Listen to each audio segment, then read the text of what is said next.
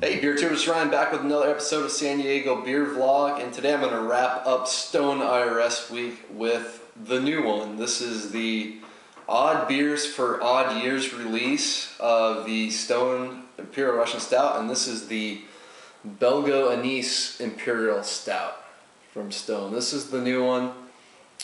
They're using a Belgian yeast strain with this beer. They're using liberal amounts of anise, and it also says on the bottle right on the bottom that they're also aging it on wood on wood chips.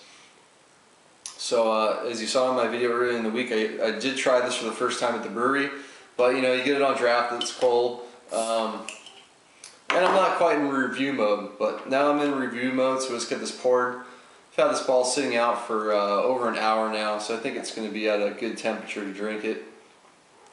Yeah, it recommends serving these heavy beers at 55 degrees. I'd say you can maybe go a little, little higher on that. Um, let's see the pour on this one. I can already smell it uh, from here. Uh, poured about oh two and a half fingers. Um, looks pretty similar in terms of mostly small bubbles.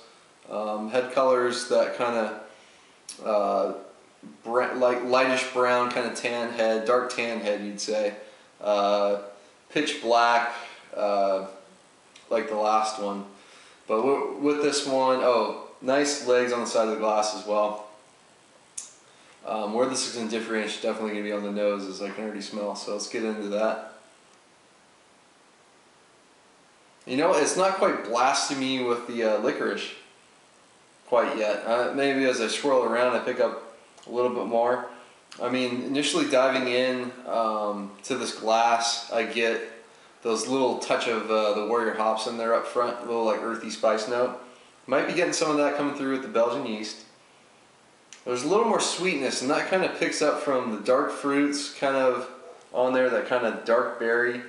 But then it also kind of plays into the uh, the black licorice notes of the of the anise in there as well. Um, some breadiness in there as well.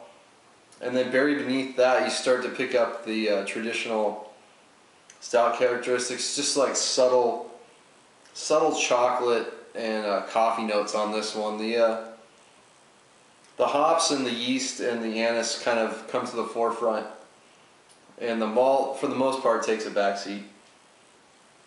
So uh, doesn't smell as big and licoricey as I had it on draft, but uh, it should be interesting to try. And I believe this is also 10.5%. Yeah, also 10.5% ABV. So let's give it a go. Cheers.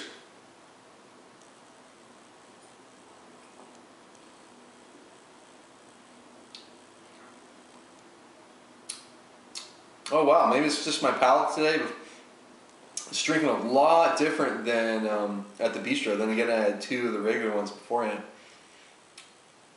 Up front, it reminds me a lot of just 2011, you know, standard release of Stone IRS. You get the slight bit of uh, hop bitterness up front. Then comes in the bits of chocolate, followed by some of those dark fruits. Then uh, the coffee notes kind of appear, and then the look you get some of that uh, black licorice note from the anise.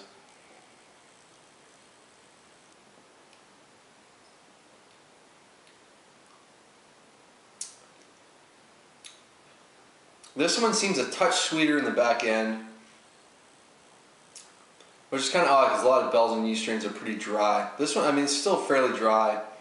We get a little, it, like the finish is longer on this beer. In the back end, you do pick up a hint of those wood chips in there. You get a little bit of the uh, like oak kind of tannins going on. Um, maybe very slight vanilla notes.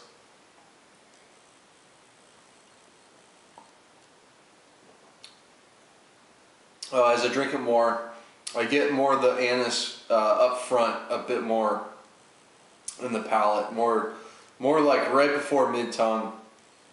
But it blends really well. For some reason, when I had it on draft my palate that day, I thought the anise was uh, very overpowering. And maybe that was because it was too cold initially. I'm not entirely sure, but I've had this bottle out. I mean, it's it's it's got to be between 55 and 60 degrees. Yeah, the anise is not um, overpowering at all, which was kind of what I'm afraid. I'm not a huge fan of, of black licorice and all those liqueurs that use it as well, but this is blending really nicely. As I drink it a little more, um, tends to linger a little bit more on the palate.